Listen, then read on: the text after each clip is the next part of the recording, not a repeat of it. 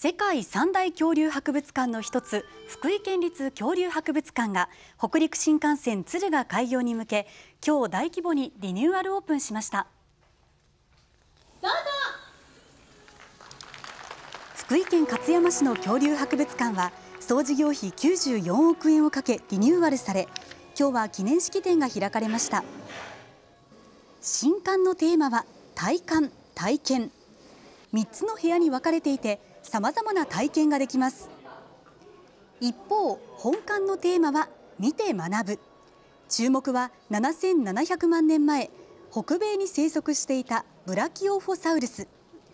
足の部分に皮膚の痕跡がはっきりと残りミイラ化石と呼ばれていてアメリカの博物館から借り受け日本初公開となります。